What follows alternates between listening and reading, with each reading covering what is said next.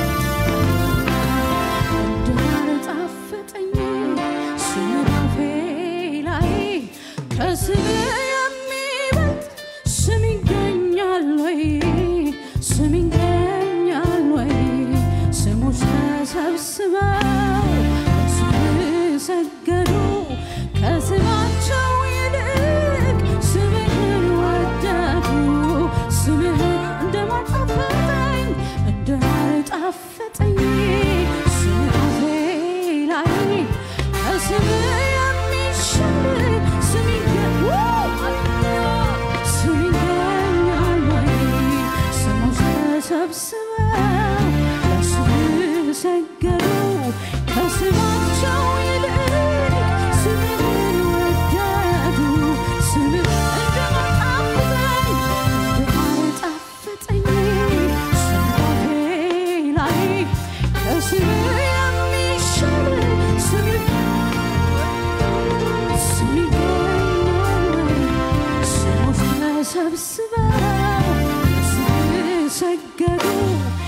最漫长夜里。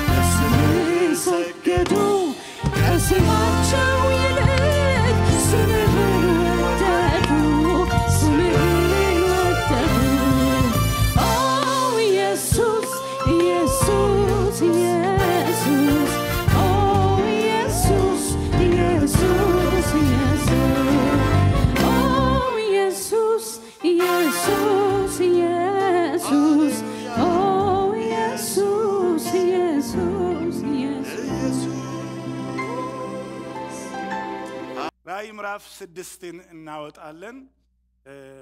አንድ ሳምንት ከቀራችሁ አንድ ምዕራፍ አለፋችሁ ማለት ነው። ስለዚህ በየጊዜው መገኘታችን በጣም አስፈላጊ ነው እና እባካችሁ የእግዚአብሔርን ቤት ስንወድ እግዚአብሔርን ቃል ስንወድ ልጆቻችንም ደግሞ እግዚአብሔርን ይወዳሉ፣ ቤቱን ይወዳሉ እና እግዚአብሔር በሕይወታችን የመጀመሪያ እንደሆነ በቃልም በስራም እናሳያቸው። ራእይ ምዕራፍ ስድስትን እናወጣለን። እግዚአብሔር አምላካችን ሆይ በኢየሱስ ስም እንጸልያለን። ቃልህን አብራልን፣ ተናገረን፣ ተናገረን። የኤማሁስ መንገደኞች የቆዘሙ ሲሄዱ ሶስተኛ ሰው ሆነ በመካከላቸው ተገኘ። የቆዘማችሁ የምትነጋገሩት ነገር ምንድን ነው ነው ያልካቸው። አንተ መሆኔን እንኳን አላወቁም፣ አይናቸው ታውሮ ነበረ። አንተ ግን ስትናገር ጌታ ሆይ አይናቸው ተከፈተ፣ ጌታ እንደነበረ አወቁ ይላል። በኢየሱስም የጉባኤያችን አይን ይብራ። ዛሬ በዚህ ያለን ሰዎች አይን ሁሉ ይብራ። በኢየሱስም መንፈሳዊ መረዳት እንድትሰጠን እንጸልያለን። የእግዚአብሔር ቃል እንዳይነገር እንዳይሰማ የሚፈልግ የጠላት ስውር ስራ ሁሉ የፈረሰ ይሁን። እጆቻችሁን አንሱ፣ ቀኝ እጆቻችሁን አንሱ። በጌታ በኢየሱስም የጠላት ስራ የታሰረ ይሁን። ሃሌሉያ። አይናችን ያያል፣ ጆሮአችን ይሰማል፣ ልባችን ያስተውላል። እግዚአብሔር ሆይ እንድትናገረን አንተን ለመንን በኢየሱስ ስም አሜን። እግዚአብሔር የተባረከ ይሁን። በ1993 ዓመተ ምህረት እዚሁ አካባቢ የነበርን አሜሪካ እዚህም state ባይሆን ሌላ state ም የነበራችሁ ትልቅ ክስተት ነበረ። ቴክሳስ ዋኮ የሚባል ከተማ ውስጥ ዋኮ ቴክሳስ የሚባል ቦታ ትልቅ ትልቅ ነገር ሆነ። ትዕይንቱ ምንድን ነው? ዴቪድ ኮረሽ የሚባል ሰው ራሱን ክርስቶስ ነኝ ብሎ ማስተማር ጀመረ። በትንሹ ነው የሚጀምረው። መቼም ሁሉ ነገር ከአናት አይጀምርም። በሆነ ነገር ይጀመርና ራሱን ስሎ ቁጭ አለ። ብዙ ተከታይ አፈራ። መጨረሻ ላይ ተከታዮቹ መጎዳት ጀመሩ። ፖሊስ ሰማ፣ ኤፍቢአዮች መጡ፣ ቤቱ ተከበበ።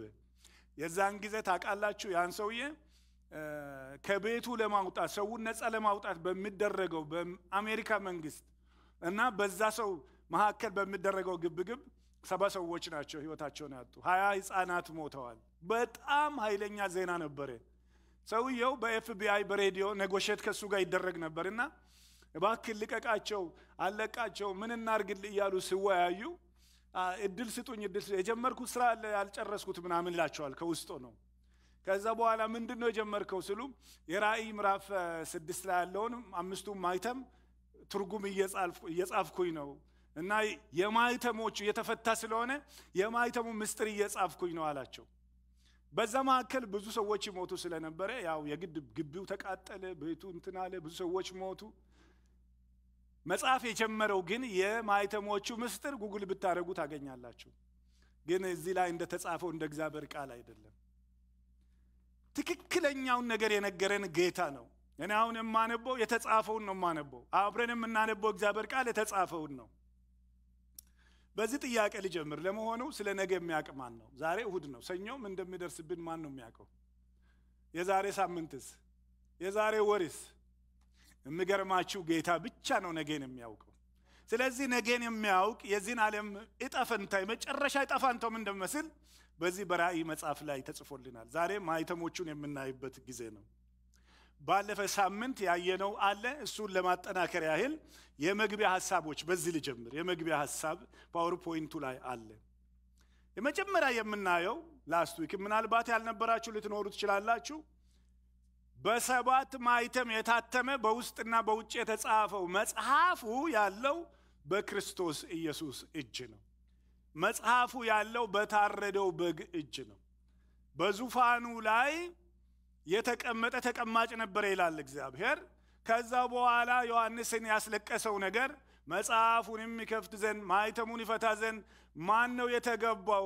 ማንም እንደሌለ ባወቅኩኝ ጊዜ ምርር ብዬ አለቀስኩኝ ይላል።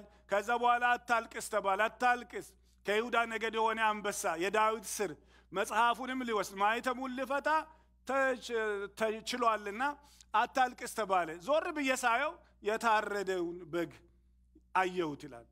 ከዛ በኋላ ያ የታረደው በግ መጥቶ በዙፋኑ ላይ ከተቀመጠው ከቀኝ እጁ መጽሐፉን ወሰደው ይላል። ስለዚህ በአንድ ድምፅ ዛሬ ልነግራቸው የሚፈልገው የመጀመሪያው ነጥብ መጽሐፉ ያለው የዓለም ዕጣ መጽሐፍ ያለው በኢየሱስ ክርስቶስ እጅ ነው። አሜን። እግዚአብሔር የተባረከ ይሁን። ማኅተሞቹን እንግዲህ ሰባት ማኅተም አይደል ያለው ተራ በተራ የሚፈታው ሌላ ሰው አይደለም።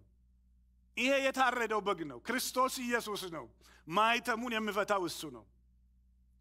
አሁን ከዚህ በኋላ በምናነብበት ጊዜ እያንዳንዱ ማኅተም ሲፈታ የምትሰሙት ነገር አለ። በኋላ ስናነበው ታገኛላችሁ። እያንዳንዱ ማኅተም ሲከፈት ከእንስሶቹ አንዱ ዮሐንስን መጥተህ እይ ማለታቸው ናና እይ አሁን የሚቀጥለውን ይላሉ እንስሶቹ። እነዚህ እንስሶች የት ነው ያገኘናቸው? ምዕራፍ አራት ላይ የነበሩ እንስሶች አራት እንስሶች ሀያ አራት ሽማግሌ ስላልን ተራ በተራ እንስሶቹ ናና እይ ይላሉ። ናና እይ መተህ እይ ማለታቸው በምድር ላይ የሚከሰቱት ድርጊቶች ሁሉ በሰማይ ላይ ካለው ከልዑል እግዚአብሔር መመሪያ እያገኙ እንደሆነ ማወቅ አለብን። ጲላጦስ ሊገልህ እንደሚችል አታውቅም አለው ለኢየሱስ። ጌታ ምን አለ? አባቴ ካልፈቀደልህ ምንም ነገር ማድረግ አትችልም። አሁን አንድ ነገር ልነግራችሁ ነው። እግዚአብሔር ካልፈቀደ በቀር በሕይወታችሁ በሕይወታችን አንዳች ነገር ሊሆን አይችልም። ሃሌሉያ! አንድ ነገር በእኛ ሕይወት ውስጥ ሊሆን አይችልም። የሚገርማችሁ አንዳንድ ነገር ልንገራችሁ። በኋላ የገባ ራእይ ስንሄድ የምታገኙት ነገር ነው። አሁን ሐሰተኛው ክርስቶስ በመጀመሪያው ማኅተም የመጀመሪያው ማኅተም ሲከፈት ሐሰተኛ ክርስቶስ ይገለጣል። ግን እንዲህ የሚል ቃል ታገኛላችሁ፣ አክሊልም ተሰጠው ይላል። ተሰጠው የሚለው ቃል ወሳኝ ነው፣ ማወቅ ያለብኝ ቃል ነው። ተሰጠው ካለ ሰጪ ያለ ማለት ነው። ካልተሰጠው በስተቀር ምንም ነገር ማድረግ አይችልም። ሁለተኛ ታላቅ ሰይፍም ተሰጠው ይላል። በጦርነት ሰዓት ማለት ነው። ተሰጠው ከተባለ ሰጪ ያለ ማለት ነው። ለአውሬው ለሐሰተኛው ክርስቶስ ደግሞ የስድብ አፍ ተሰጠው ይላል። እስከ ተወሰነ ጊዜ ድረስ የሚሰጥ የሚፈቅድ አምላክ በዙፋኑ ላይ አለ። እረ ክብር ለጌታ ይሁን። ምን ነው አንደ ቆማችሁ ከዛ በኋላ ትቀመጡ ወይስ እንዴት ነው? ደከማችሁ? ይውላችሁ እግዚአብሔር ካልፈቀደ በቀር በእኛ ህይወት አንድ ነገር አይሆንም። ክብር ለጌታ ይሁን። ሃሌሉያ። መጽሐፉ አሁን የታተመ ነው፣ ገና አልተከፈተም። ግን እርግጠኛ እንድትሆኑ የምፈልገው መጽሐፉ ያለው ማንም ጋር የለም፣ ጌታ እጅ ነው። ሁለተኛ ይሄ የመከራ ዘመን ወይም የታላቁ የመከራ ዘመን በተለያየ ስም ይጠራል። የያዕቆብ የመከራ ዘመንም ይባላል። ይሄ ሰባቱ የመከራ ዘመን ሰባት ዓመት ይሁን እንጂ በሁለት ይከፈላል። በሁለት ይከፈላል። ሶስት ዓመት ተኩል አለ። ከዛ በኋላ የሚቀጥል ሶስት ዓመት ተኩል ምንድን ነው ልዩነቱ ካላችሁ፣ በመጀመሪያ ሶስት ዓመት ተኩል ላይ ይሄ ይሄ ሐሰተኛው ክርስቶስ ተደብቆ ነው የሚመጣው። የሰላም ሰው ሆኖ ነው የሚመጣው። የዓለም ዲፕሎማት ሆኖ ነው የሚመጣው። የፖለቲካ ቁልፍ በእጁ የያዘ ሰው ሆኖ ነው የሚመጣው እና ስናገር ደግሞ ያሳምናል። ስለዚህ ብዙ ነገር የሚያደርገው በዚህ በተደበቀ ማንነት ውስጥ ነው። ከሶስት ዓመት ተኩል በኋላ ግን ራሱን ስለሚገልጥ የመጀመሪያው ሶስት ዓመት ተኩልና የሚቀጥለው ሶስት ዓመት ተኩል በዚህ ነው የሚለያዩት። ሶስተኛና የመጨረሻው ለመግቢያ አሁን የማመጣው መከራው በጥልቀትም በደረጃም እየጨመረ እንደሚሄድ እንወቅ። እየጨመረ ነው የሚሄደው። የሚገርማችሁ ሶስት አይነት መከራዎች አሉ። የመጀመሪያው ሶስት ሰባቱ ማይተም ስፈታ ነው። ቀጥሎ ደግሞ ሰባት መለከት ስነፋ መላእክቶች አሉ። ሰባት መለከት ተሰጥቷቸው የሚነፉ ተራ በተራ እነሱ በነፉ ቁጥር የመከራው ጥልቀት እየጨመረ ነው የሚሄደው። ከዛ በኋላ ደግሞ ሶስት የጽዋ መከራዎች አሉ። ስለዚህ ከመጀመሪያው የሁለተኛው ከሁለተኛው ደግሞ የሶስተኛው እየጨመረ ነው የሚሄደው። ታውቃላችሁ እኔና እናንተ አሁን ያለንበት ዘመን ይሄ ሁሉ ይሄ ሁሉ የመጨረሻው መከራ የምጣር መጀመሪያ ነው ይላል ጌታ። የምጣር መጀመሪያ ነው። አሁን አይደኛ መከራ ነው በዓለማችን ያለው ጆሮአችን የሚሰማው ጭው የሚያሰኝ እንዴት ሊሆን ቻለ ሰው ሆኖ እንዴት እንዲያደርገ የምንላቸው ብዙ ነገሮች አሁን እየሆኑ ነው ያሉት። ይሄ ሁሉ የምጥጣር መጀመሪያ ነው።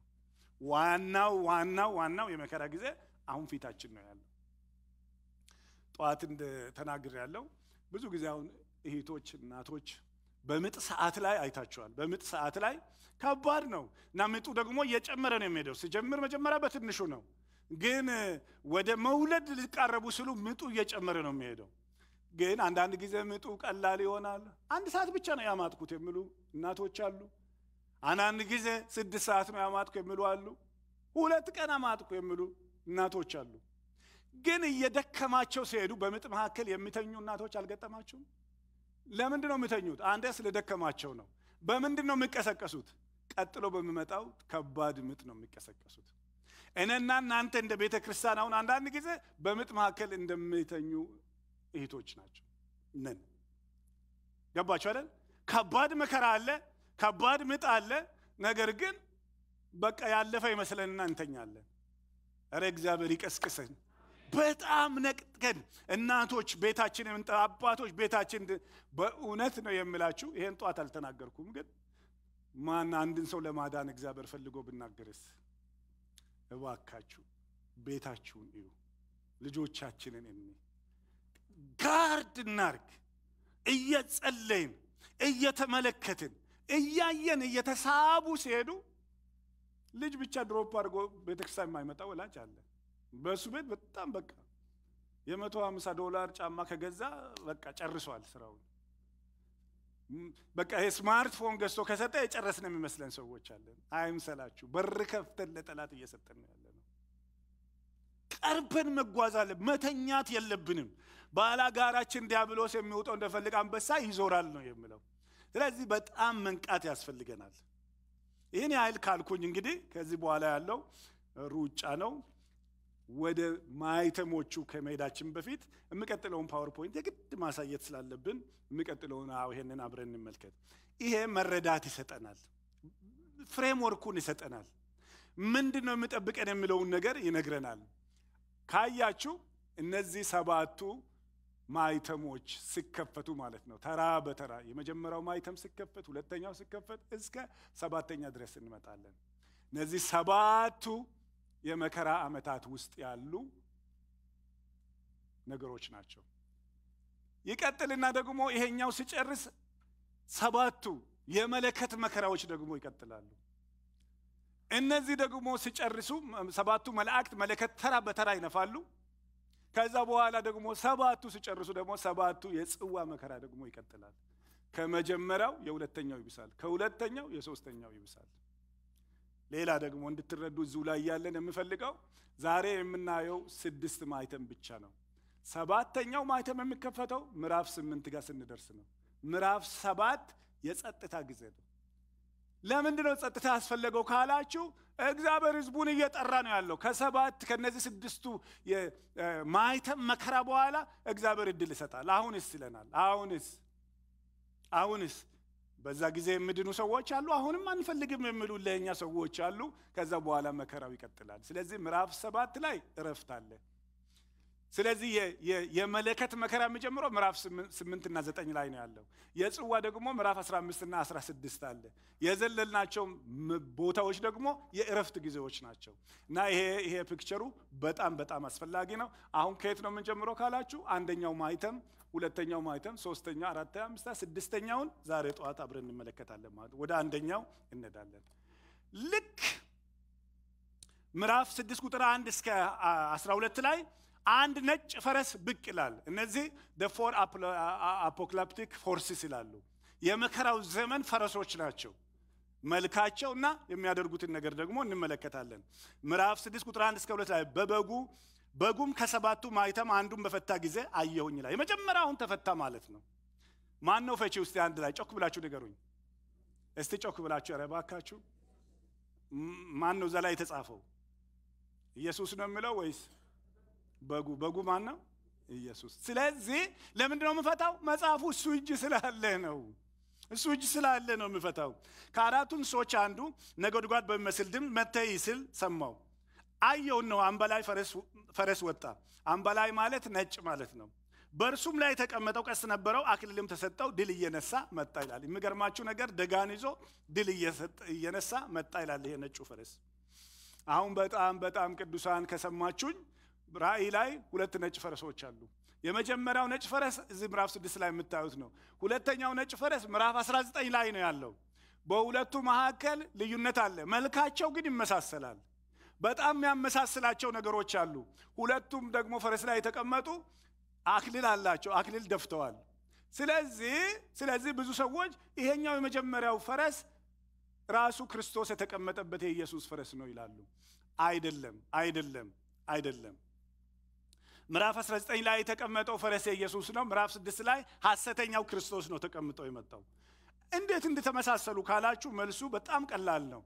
የሰይጣን ስራ ሁለም ቢሆን ማስመሰል ነው። ለዚህ ነው ሐሰተኛው ክርስቶስ የተባለው። አይነተኛ ስራው ማስመሰል ነው።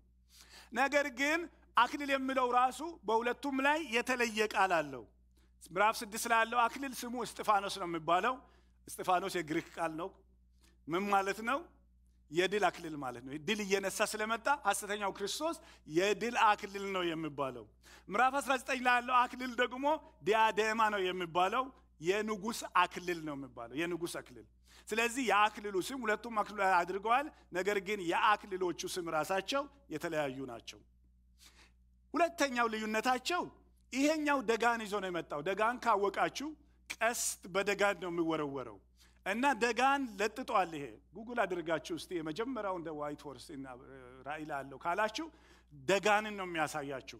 ደጋን እንዲህ በኃይል ሂሳብና ሩቅ ቦታ ነው የሚያሳያችሁ። ነገር ግን በቀስት ስዋጋ አንመለከትም።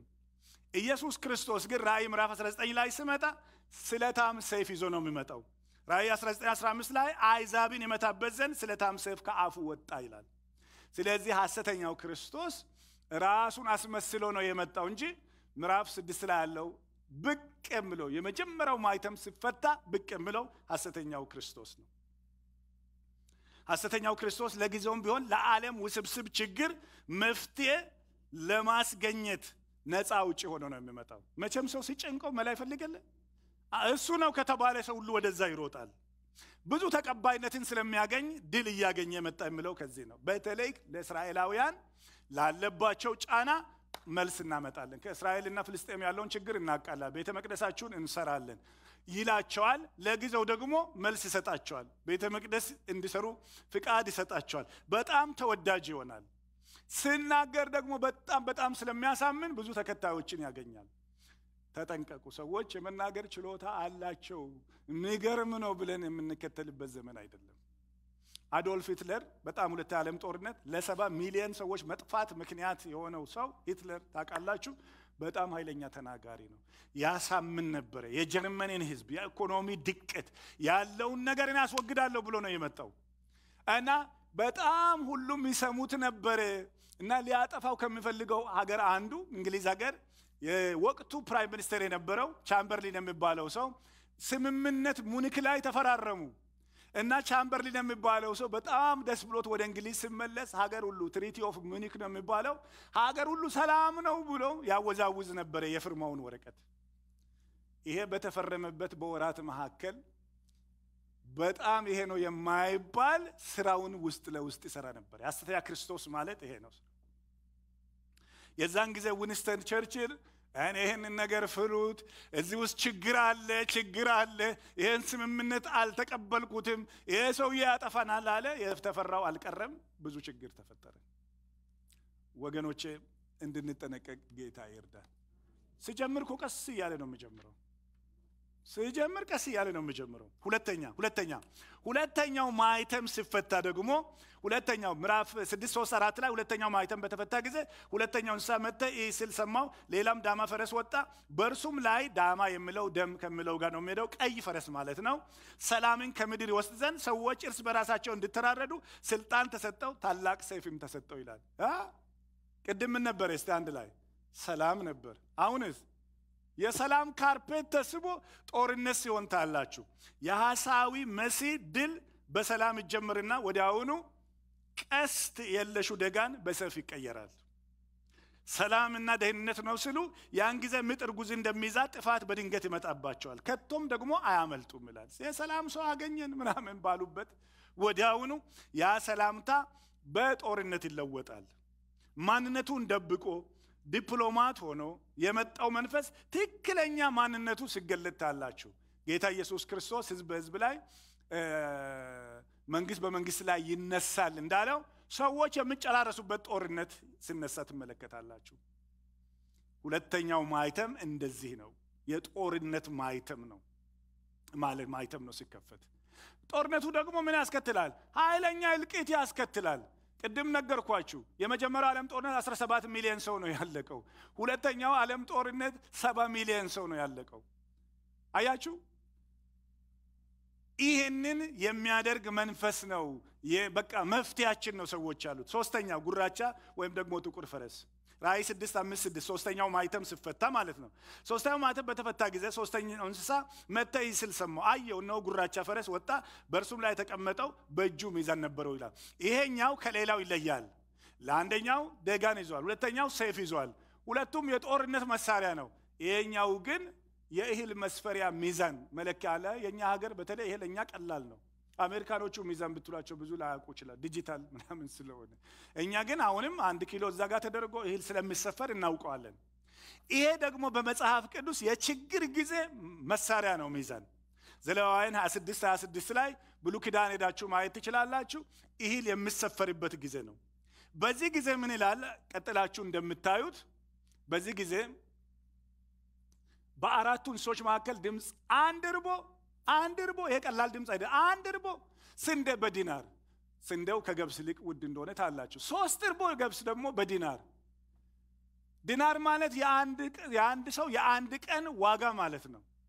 ሙሉ ቀን ሰርቶ ቤተሰቡን የሚመግብ ሰውዬ አሁን በአንድ ዲናር አንድ እርቦ ብቻ ነው የሚገባው ማለት ለራሱም አይበቃውም ቤት ይዞ ለመምጣት። inflation አለ ማለት ነው። የዋጋ ጭማሬ ንረት አለ ማለት ነው። በሰባቱ ዓመት ውስጥ እኔ ዛሬ ዳቦ ከ King Soopers average ዋጋ ሁለት ብር ቢሆን በሰባት ዓመት ውስጥ በዛን ጊዜ 14 ዶላር ይሆናል ማለት ነው አንድ ዳቦ። ወተት ሶስት ብር ቢሆን በሰባት ብታ በ21 ዶላር ይሆናል ማለት ነው። ስንት ዳቦ ነው መግዛት የምንችለው? ስንትስ ቤተሰብ ነው በዛ መመገብ የምንችለው? ከዛ በኋላ ዘይትና ወይኑን ግን አትጉዳ ማለት ምን እንደው ታውቃችሁ፣ ከመከራው ጥልቀት የተነሳ የዘይቱና የወይራው ነገር ተወው። ማንም አያስበውም። ያ የቅንጦት ነው። ማንም እሱ እሱ እሱ አይነካም። እሱ እሱ ማንም ስንዴ ማን በልቶ ገብስስ ማን በልቶ? የሚገርማችሁ ነገር ነው። በዚያን ጊዜ በዚያን ጊዜ በጣም እንድትሰሙኝ ይፈልጋለሁ። ሐሰተኛው ክርስቶስ ብቅልና የተራቡትን እኔ እመግባለሁ፣ ኢኮኖሚውን እኔ አስተካክላለሁ። economist ሆኖ ይመጣል፣ politician ሆኖ ይመጣል፣ የጦር ጀኔራል ሆኖ ይመጣል፣ ፕሬዝዳንት ሆኖ ይመጣል። የሚገርማችሁ ሐሰተኛ ክርስቶስ ምን ይመስላል ብላችሁ ለምታስቡ ሰዎች ስታሊንን፣ ሂትለርን በቃ ይሄ ነው የሚባሉትን ታላላቅ ሰዎችን በሙሉ ክፉዎችን ማለት ነው አንድ ላይ ብትጨፈልቁ የእሱን ግማሽ አይሆኑም። ስለዚህ የሁሉ ነገር መፍትሄ ይዞ የሚመጣ ሰው ምን ይመጣና ምን ይላል? እኔ ይህን ችግር አቃልላለሁ ይላል። ሰው ተርቧል። ኢኮኖሚውን እጅ ውስጥ ያስገባል። ወደ ራእይ 13 17 ላይ ስንሄድ የአውሬው ቁጥር የሌለው ሊገዛና ሊሸጥም አይችልም ይላል። በቃ አንድ ጊዜ የአንድ ጊዜ ሁሉንም በሱ ቁጥጥር ስር ስላደረገ ለመግዛት እና ለመሸጥ እሱ የአውሬውን ቁጥር መውሰድ ያስፈልጋል። ስለዚህ የኢኮኖሚ መፍትሄው እኔ ጋ ነው ያለው ነው የምለው። ሶስተኛው መፍትሄ ችግር የሚመጣው በዓለም ላይ የኢኮኖሚ ነው። አራተኛ ሀመር ወይም ደግሞ ፔል ይሄ ይሄ ሰው ሲሞት ይላሉ እንግዲህ እኔ እንዳየሁት አረንጓዴና ቢጫ ከለር የተደበላለቀበት ፈረስ ነው ይሄ እና በቃ አሁን ሞት አለ ማለት ነው። ሞት እንዳለ የምታውቁት ስናነበው ነው። ቁጥር ሰባትና ስምንትን እናነበዋለን። አራተኛው ማይተም በተፈታ ጊዜ የአራተኛው እንስሳ ድምፅ መተ ስል ሰማው፣ አየው፣ እነሆ ሐመር ፈረስ ወጣ፣ በእርሱም ላይ የተቀመጠው ስሙ ሞት ነው ይላል። የመጀመሪያዎቹ ሶስቱ ፈረሶች ላይ የተቀመጡት ሰዎች ስም አናውቅም፣ የምናውቀው ስራቸውን ነው። አራተኛው ግን የተቀመጠበት ሰውዬ ስሙ ሞት ይባላል። አስቡት፣ ሞት ተቀምጦበታል፣ ሲኦል ደግሞ ይከተለዋል። በሰይፍና በረሃብ በሞት በምድር አራዊት ይገደሉ ዘንድ ከምድር በአራተኛው እጅ ላይ ስልጣን ተሰጠው። ምን እንደሆነ ልንገራቸው። አራተኛ እጅ ማለት ዛሬ ምድር ላይ ስምንት ቢሊየን ሰው ቢኖር ቢኖር ስምንት ቢሊየን ሰው ቢኖር ሁለት ቢሊየኑ የሚያልቀው በዛ ጊዜ ነው። picture አረጋችሁት? ሁለት ቢሊየን ተሰጠው። በቃ ያንን እንዲገድል ተሰጠው። ስለዚህ ሰው ግማሹ በጦርነት ግማሹ በረሃብ አልቋል። አሁን ሞት ፈረስ ላይ ተቀምጦ ሲመጣ ሲኦል ደግሞ ይከተለዋል። ሞት ይገላል፣ ሲኦል ይቀብራል። ደስ የሚለው ግን ኢየሱስ የሞትና የሲኦል ቁልፍ በእጁ አለው። አረ እባካችሁ ይህንን ጌታ ባርኩት፣ እግዚአብሔርን አመስግኑት። ሃሌሉያ! ይህንን ጌታ ባርኩት። እግዚአብሔር ይመስገን። አምስተኛው አሁን አሁን እንዲገባችሁ ነው የምፈልገው፣ እንዲገባችሁ እኔ ዝም ብዬ እንትን ማለት ብቻ ሳይሆን ይሄ ነገር ውስጣችን እንዲሰክን ይፈልጋለሁ። ሰባት ማይተም አለ። አራቱ ማይተም በፈረስ ላይ ተቀምጦ በሚመጣ ማንነት መሰረት ሲከፈት ናና እያሉ እንስሶቹ ያሳያሉ። አምስተኛው ሲከፈት ግን ከመሬት ወደ ሰማይ እግዚአብሔር ሲወስድ እናያለን። እንስሶቹ ደግሞ አመልካች አይደሉም። አሁን ራሱ ጌታ ነው የሚያሳየው። ግልጽ ነው አይደል? አሁን ወደ ሰማይ ምድር ይቀርና ሰማይን ያያል። አንብቡት። ምን ይላል እዚህ ላይ? አምስተኛው ማይተም በተፈታ ጊዜ ስለ እግዚአብሔር ቃልና ስለ ጠበቁት ምስክርነት የታረዱ ሰዎች ነፍሳት ከመሰዊያ በታች አየው። ብዙ ሰዎች ከመሰዊያ በታች። ይሄ መሰዊያ ጌታ ኢየሱስ ክርስቶስ መስዋዕት የሆነበት ወይም ደግሞ በብሉይ ኪዳን እንስሳትን ካህናቶች መስዋዕት የሚያደርጉበት ስለዚህ እነዚህ አሁን የሞቱ ሰዎች በዛ ስፍራ ሆነው ሲጨው እንመለከታለን። ምድር ላይ ነው የሞቱት። አሁን እነሱ ሳይሆን ነፍሳቸው በዛ አለ ይላል በትክክል እንደተጻፈው። ምን ይላሉ? እስቲ እንስማቸው።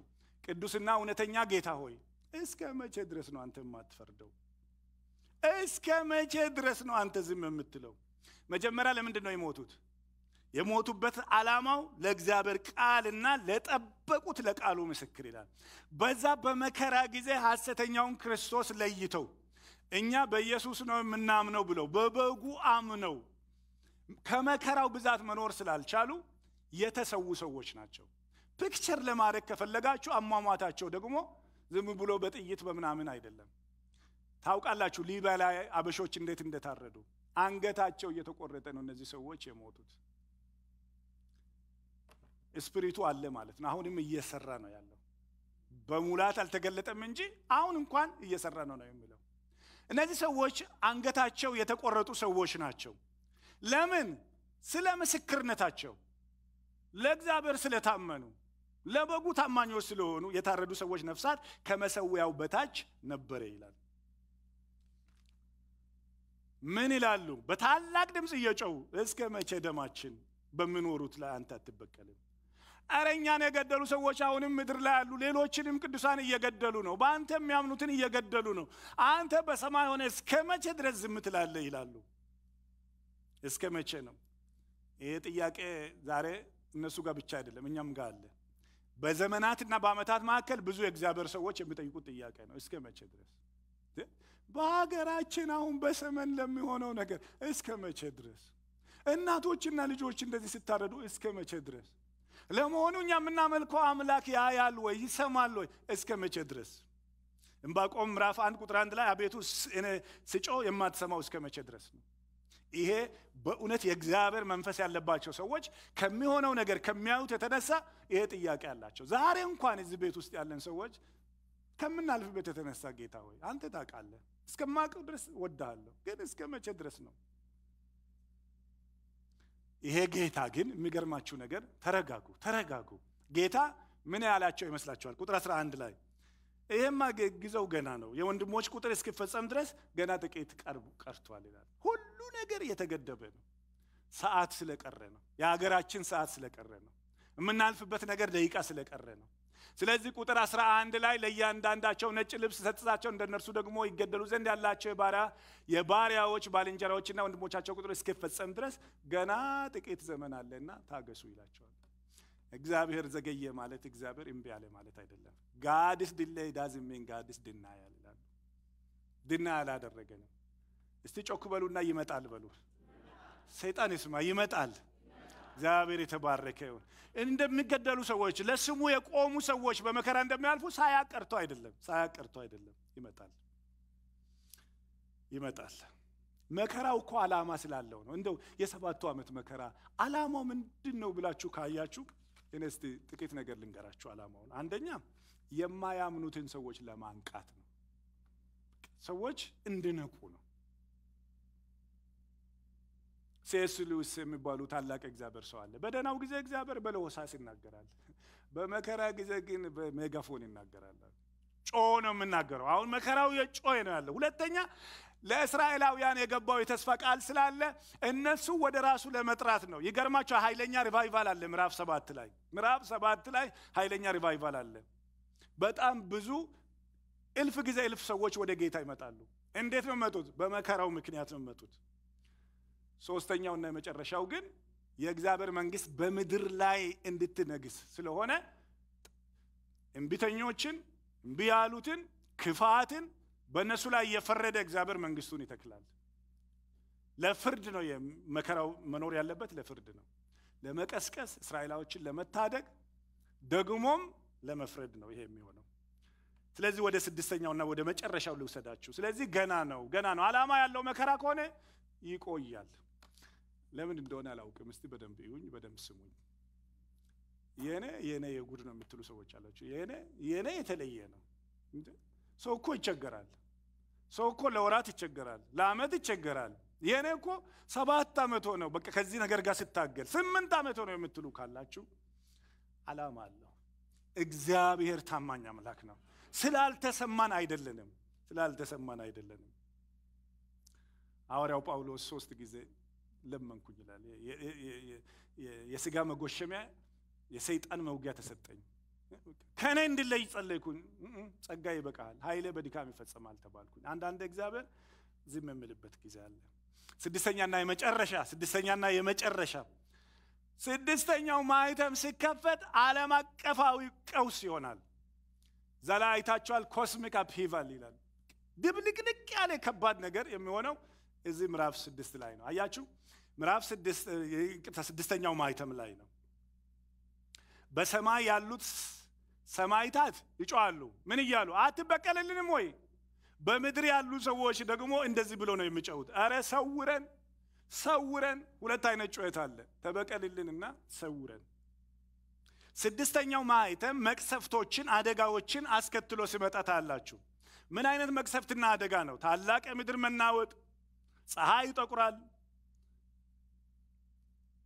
ጨረቃ እንደ ደም ይሆናል፣ ሰማይ እንደ መጽሐፍ ተጠቅልሎ ያልፋል፣ ተራሮች እንደ ተራሮች ደሴቶች ሁሉ ከስፍራቸው ይወሰዳሉ።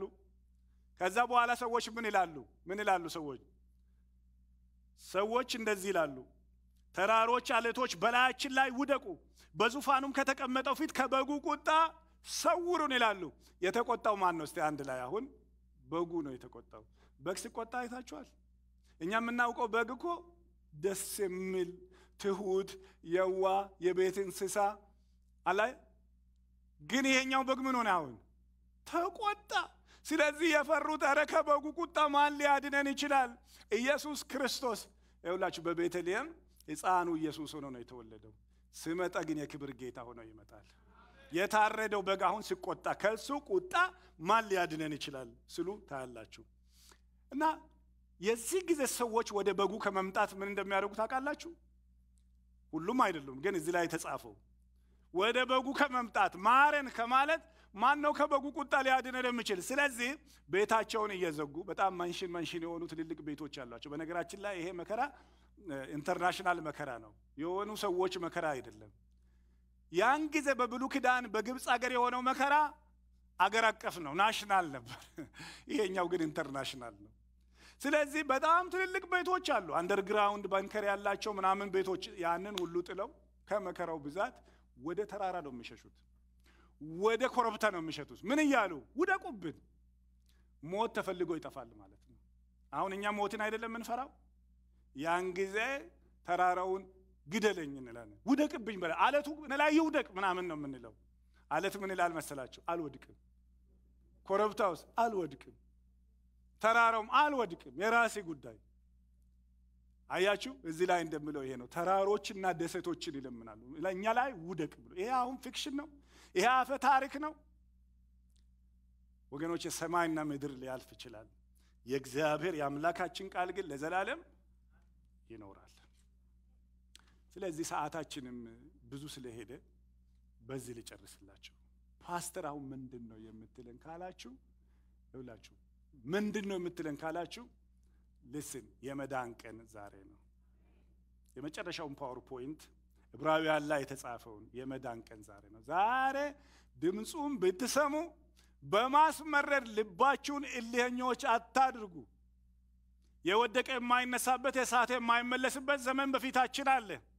ዛሬ ግን የምሕረት ደጅ ተከፍቷል። ቆይ በመከራው ዘመን ውስጥ ፓስተር ሰዎች ይድናሉ? ምዕራፍ ሰባት ስንደርስ ታያላችሁ። በጣም ብዙ ሰዎች ይድናሉ። ግን እዛ ውስጥ ገብተን ከምንድን ተሰውተን ከምንድን ተራራ ውደቅብን ብለን ከምንድን ዛሬ እግዚአብሔር ቤተ ክርስቲያን ሰጠን፣ ድምፅ ሰጠን። ልጆቼ ከዚህ ከጠራራው ፀሐይ ከንፋስ ውሽንፍር ወደ እኔ ሽሹ እያለን ነው ያለው እግዚአብሔር። ኧረ እባካችሁ ወደ ኢየሱስ ነው። በጉ ሳይቆጣ በጉ አሁን እጁን ዘርግቶ ኑ ወደ እኔ ያለበት የጸጋ ዘመን ውስጥ ነው ያለ ነው። ወደ እሱ እንድንሸሽ እግዚአብሔር ይርዳል። ኧረ አሜን። አንድ ላይ ማን ነው ጌታ ኢየሱስ ክርስቶስ እንደ ግል አዳኙ ያልተቀበለ ሰው? ዛሬ ቀናችሁ ይሄ ነው። አንድ ታሪክ ልንገራችሁና በዛ ጨርሳለሁ። በዛ ጨርሳለሁ። ሰውየው ኢንሹራንስ ለቤቱ እየፈለገ ቆየ፣ ጊዜው ቆየ። በኋላ ቤቱ ለምን እሳት አይቀጣጠልም? ስልኩ እጁ ላይ ነበረና ወደ ኢንሹራንስ ደውሎ ኢንሹራንስ ፈልጋለሁ፣ coverage ፈልጋለሁ ለቤተ ምናምን አለ። ከዛ ሰውየው ኢንሹራንስ ኤጀንሱ አነሳና ለምን የዛሬ ሳምንት አትመጣ? ዛሬ ሳምንት አልችልም፣ አሁን ነው የምፈልገው አለ። ሰውየው ቀጠሮ ይዘን ነው እንጂ። እሺ ነገ አሉት። አልችልም አልችልም። እሺ በኋላ አሉት። አልፈልግም፣ እኔ አሁን ነው ኢንሹራንስ የምፈልገው አለ። ለመሆኑ ቤቱ ደህና ነው ወይ ስለው እየጨሰ ነው አለ። እየጨሰ ላለው ቤት ማን ነው ኢንሹራንስ የሚያስገባ? ለምን ትጠብቃላችሁ እስከዛ ድረስ? ሰዓት የላችሁም። የዛን ጊዜ ሰዓት የላችሁም። ማን ነው ነገን የሚያውቅ ብያችሁ ነበር። ማን ነው ነገን የሚያውቅ? ከዚህ ከተለያየም በኋላ ማን ነው የሚያውቅ ምን እንደምናደርግ አናውቅም። ስለዚህ ዛሬ ሕይወታችሁን ለጌታ እንድትሰጡ ጠይቃችኋለሁ። አሜን። አንገቶቻችሁን ዝቅ አድርጉ። አንድ ግማሽ ደቂቃ ብቻ ሊጠይቃችሁ። ፓስተር እኔ ጸሎት እፈልጋለሁ ኢየሱስም መከተል እፈልጋለሁ የሚል ሰው እጁን ያሳየ ልጸልይላችሁ።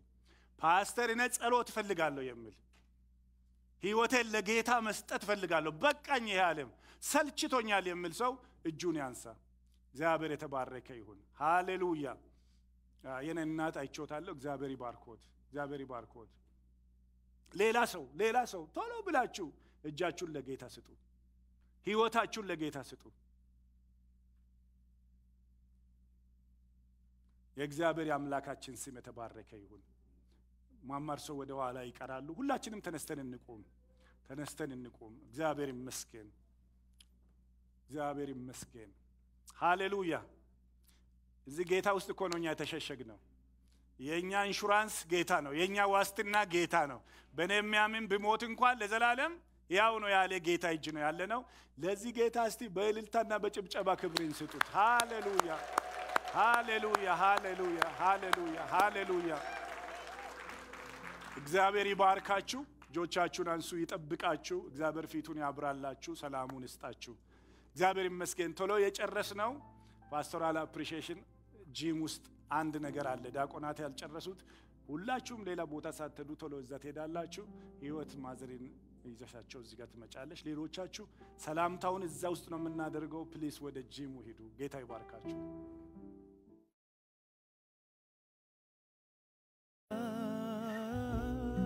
ናፈቀኝ ጌታ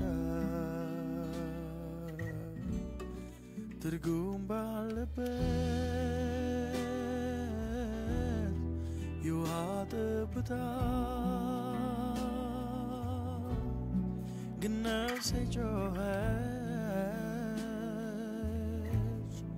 አንተን ተጠምታ አምላክ አንተ ዘንድ ግስግሳለሁ